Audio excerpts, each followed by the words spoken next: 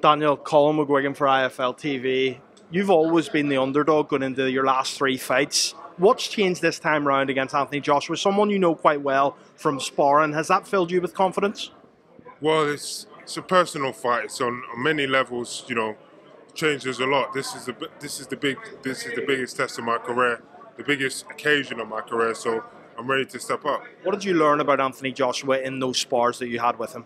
Um, just those spars were spars. That's a long time ago. I'm not even thinking about that now. I'm, I'm going in there as a hungry lion to go and you know capture the world and you know capture the world's imagination. The world's going to be watching, and I can't wait. Daniel, thanks.